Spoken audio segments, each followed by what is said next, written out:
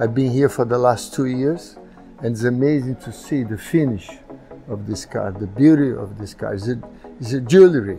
This is going to be an incredible car. The details are incredible.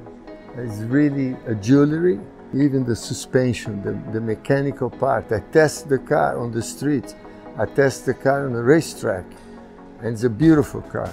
Not just the look, but the handling, the power, the comfort. And congratulations to the whole team from Hispano Suiza to achieve at this level of finish, because this finish as the best hypercars in the world.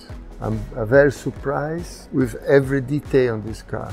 And that means the team behind the car that made this car is incredible. You see the passion, the love of putting together in one car, in one project. Congratulations, Michael.